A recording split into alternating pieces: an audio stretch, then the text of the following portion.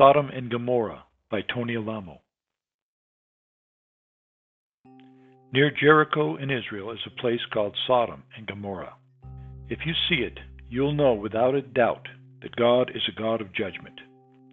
You can pick up yellow pieces of sulfur and they burn when you light them. It's the most frightening sight you'll ever see. The mountains look as though God had judo chopped the tops of the mountains into huge slices. Then, with his giant fist, smashed everything into a sunken heap, buried it in salt, sulfur, brimstone, and fire. Take home a yellow piece of sulfur, brimstone, as a souvenir. Take an extra piece with you to put in the voter's ballot box when the public says, let's vote to see if same sex marriage is okay. Never say with the crowd that God's word isn't true. We're not able to know right, wrong, good, or evil without God's word. This entire area is hotter than any other place in the Holy Land. It's also the most lifeless area. There are large mountains of salt nearby.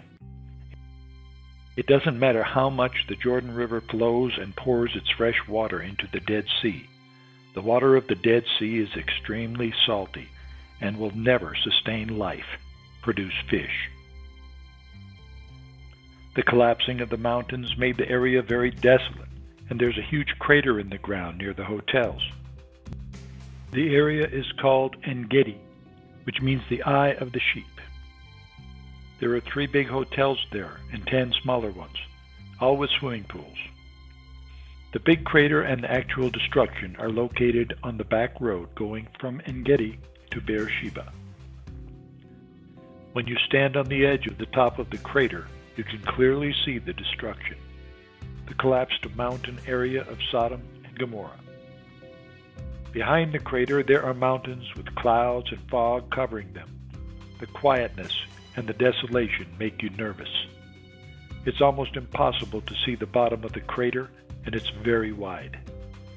How many huge craters in the ground are there? Holes so big the earth split, which led to the destruction and burying of Sodom and Gomorrah? Jericho must be included too, because Sodom is just a district of Jericho. As you're going down the mountain road from Jerusalem to Jericho, your ears pop as if you were landing in an airplane. Jericho is far below sea level, the lowest place on the whole earth. That's because God smashed the whole area down. He made this the lowest point on earth for the sin they committed. Jericho, except for the city, is almost empty, and there is hardly any life there, as the land has been cursed. It makes you feel sad. The landscape is very harsh. It doesn't matter how many times people try to develop the land, to bring some kind of life and fun to it. The land beats them back and it does not prosper. You can actually see the different caves and houses there which have been destroyed. The people who live there are few, and they are mostly shepherds. Their lifestyle is very harsh and cruel, as the land is so cruel, and their faces look as hard as a rock. People still to this day pick up the sulfur rocks, brimstones, that God showered the area with. They take souvenirs and try to light the sulfur rocks with matches. Grave robbers and archaeologists frequent these areas for coffins and graves. The robbers dig at night, searching for bodies, jars, cups, jewelry, and furniture they can sell before the archaeologists find them. They also try to dig out the destroyed caves and houses from the rocks, brimstone, and sulfur. Anyone who looks at the magnitude of the destruction in this area will have no doubt that this is actually God's destruction and punishment on the area, as the entire land of Israel is green and flourishing, except for the areas of Sodom and the surrounding villages. God shall soon bring his destruction on the earth again, and on the entire world. In the U.S., we have never experienced an earthquake higher than a 9.2 on the Richter scale. It's easy to see that if God's destruction of Sodom and Gomorrah had been judged on today's Richter scale, it would have been 25.0 or higher. This is not taking into account the fire and brimstone raining down hard on the people because of their vile sex practices, such as homosexuality and fornication. This entire area should be a testimony of God to all people, especially those perverts who practice homosexuality and lesbianism. After observing all this, you will know that God is not a kidder. He really means what he says. It is the end of time, so don't be a kidder either when you say this prayer to God. My Lord and my God, have mercy upon my soul, a sinner. I believe that Jesus Christ is the Son of the living God. I believe that he died on the cross and shed his precious blood for the forgiveness of all my former sins. I believe that God raised Jesus from the dead by the power of the Holy Spirit, and that he sits on the right hand of God at this moment, hearing my confession of sin and this prayer. I open up the door of my heart and I invite you into my heart, Lord Jesus.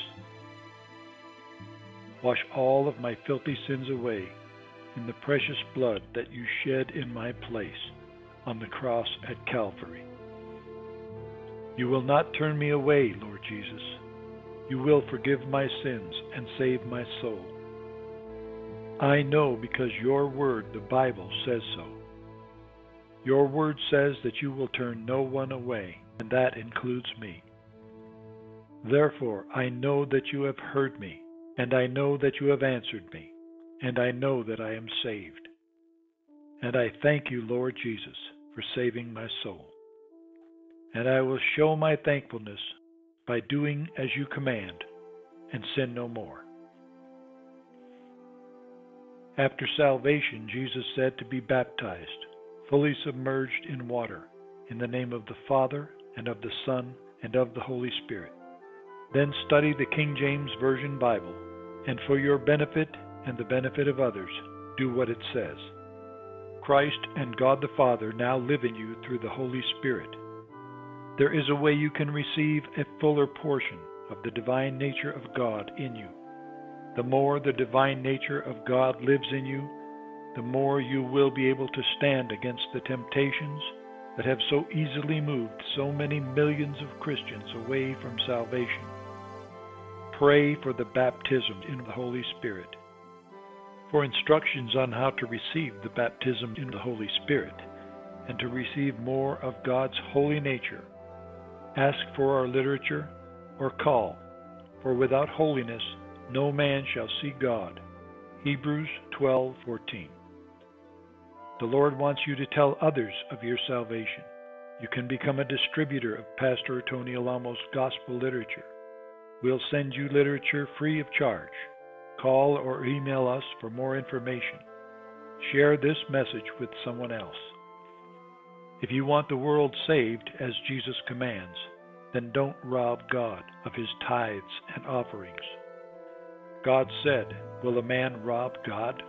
Yet you have robbed me. But you say, Wherein have we robbed thee? In tithes and offerings. You are cursed with a curse, for you have robbed me, even this whole nation and this whole world. Bring ye all the tithes.